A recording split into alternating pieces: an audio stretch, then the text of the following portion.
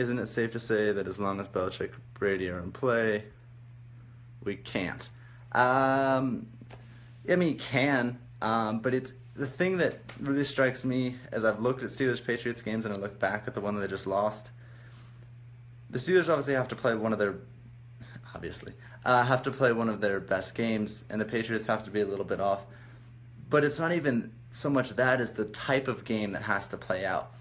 The Patriots can beat you in so many different ways, offensively and defensively, but especially in terms of how they can control the game um, in possession or how quickly they can score if they're so inclined, uh, as you saw in their historic comeback to win the Super Bowl.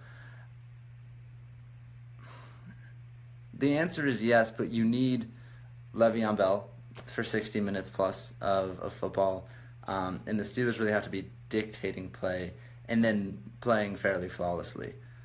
I didn't think it was entirely fair that Ben Roethlisberger, you know, threw his young receivers under the bus um, after the AFC Championship game.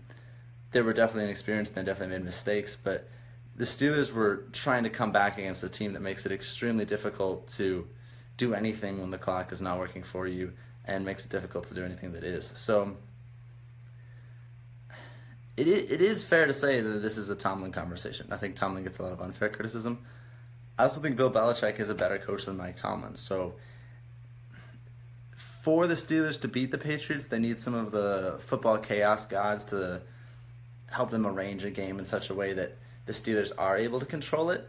Uh, and Le'Veon Bell does have to have one of those 120, 150 couple score type games. Um, so they can do it, but it's a lot of things have to align for them.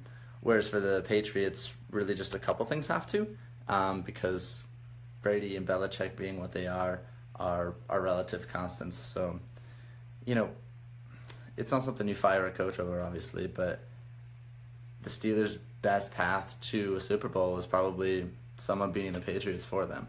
That's unfortunate if you're a Steelers fan. That's a fact of life. If you're really anyone else who follows the NFL. So to answer your question, I hope I did.